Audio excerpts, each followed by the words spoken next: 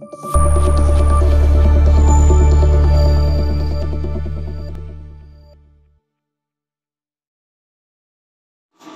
anh em ha, hôm nay bên à, xuống tiệm mới ờ, vừa nay cái này mình là vừa làm gọi luôn. Một số chỗ à, chưa có ổn lắm ha anh này là kêu bằng à, sườn gió, chạy máy Hyundai 90 kW là xuyên hàng gió để turbo anh em bên này mới vừa làm xong luôn anh em ơi. Này à, giao về cho anh à, Bùi Minh Thích nha. Bùi Minh Thích ở Hà Nội á. Anh chạy cái Hyundai. Lòng một tấc lại nè. Thì thường thường là đây là hai đường nước mặn anh nè. Nước mặn hay nước ngọt thì anh em ha. Nước này à, bơm từ ở phía ngoài của chiếc tàu mình á. Tàu cano vậy đó còn đây là hai đường gió. Một đường gió này là của uh, có thể là lấy từ turbo uh, nạp vô đây. Ga này vô que đường này vô que hoặc là từ đường này vô que cái đường này nạp vào hay đường này ra que cũng được. Nói chung là đường này là đường hơi. Cơ cấu nó cũng là, là đơn giản thôi. Hai đường nước là giải nhiệt hai đường này là đường nước giải nhiệt.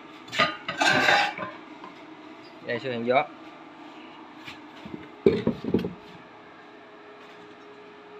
Này à, em sử dụng à, nước 27 còn đây đóng 49 nha nè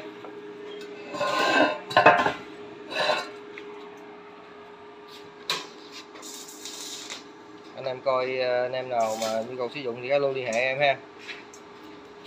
Đây là số điện thoại của em thông tin của em.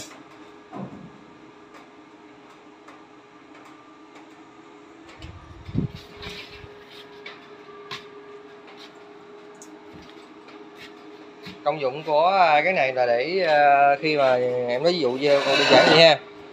Turbo nạp vào đây đi nạp vào bên đây. À, nhiệt độ lên 100 độ.